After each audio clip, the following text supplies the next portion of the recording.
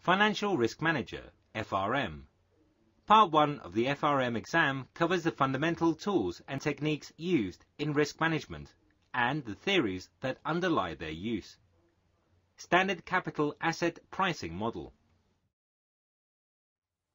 We have learned in the previous lectures about the portfolio return and volatilities and about investors' choices in holding efficient portfolios lying along the efficient frontier. In this lecture, we will learn about the market at equilibrium. That is, we will derive pricing models for asset under equilibrium conditions. In this lecture, standard capital asset pricing model is discussed, which will have a number of assumptions under ideal conditions. In the next lecture, we will see the effects of removing these assumptions. Agenda. In the first model, the markets will be assumed to be frictionless with various idealistic conditions. We will also plot the capital market line based under these assumptions.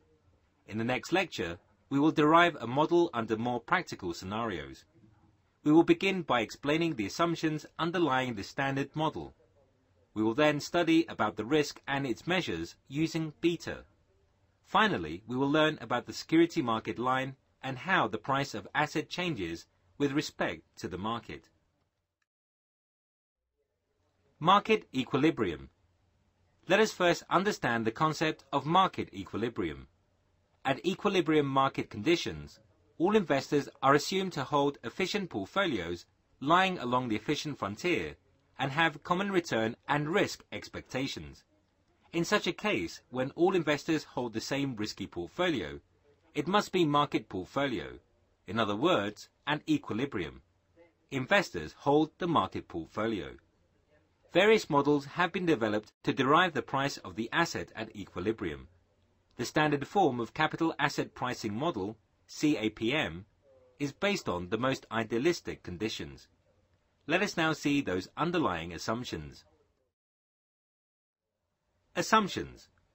The first assumption means that there is no transaction cost or any cost of purchasing or selling the security.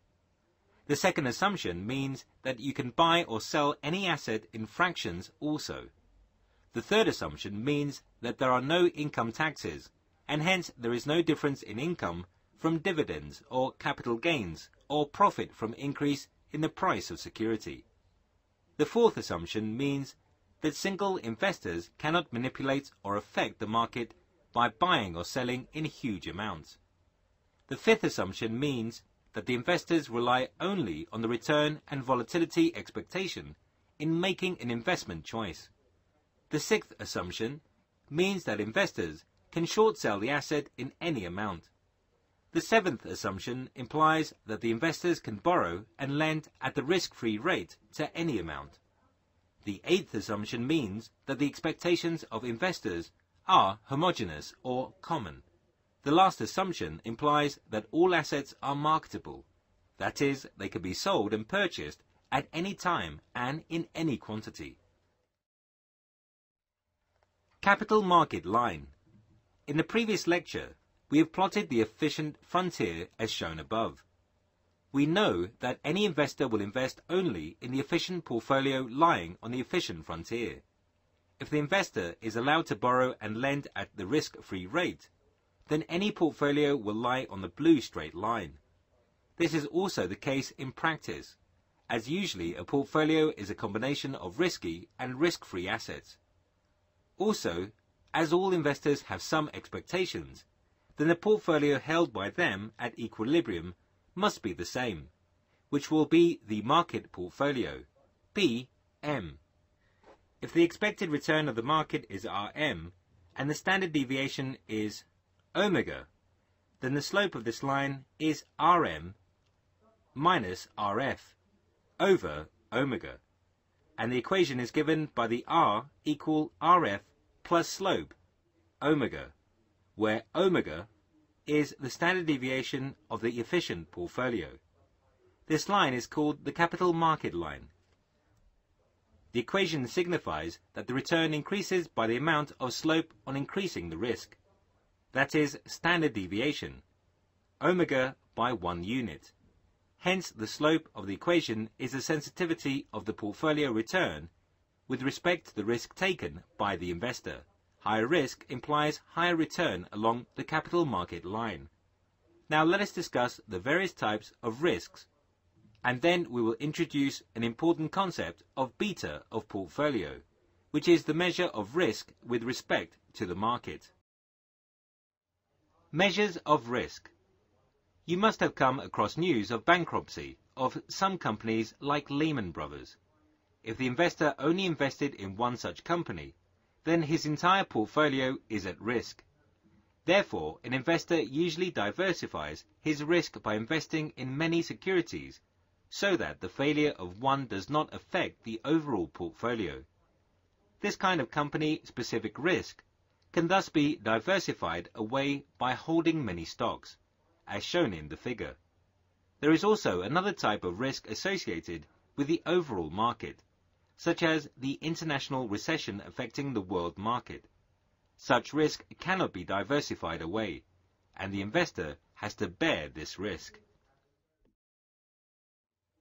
Beta, measure of systematic risk. The systematic risk, or the market risk, is denoted by the parameter beta. It is the relative risk of the asset with the market, that is, the sensitivity of the asset with the market portfolio. A higher beta implies greater sensitivity and hence a higher risk. Mathematically, beta is equal to the covariance of the asset with the market divided by the variance of the market portfolio. To understand the implication of beta, let's take an example. Suppose an asset has a beta of 1.5. This means that it is one and a half times more sensitive to the market portfolio. If the market moves by, say, 20% upwards, then the asset moves by 1.5 times this amount, which is 30%. Similarly, if the market falls by 10%, then the asset will also fall by 15%. It means the asset is one and a half times more sensitive than the market movement. A beta of 1 signifies market beta, and the asset will move with the market. A beta of less than 1 will be less sensitive to the market movement. For example, if the market moves by 30% and the asset has a beta of 0.5, then it will rise by 15%. In some rare cases, you might come across negative beta. That is, the asset and market move in opposite direction.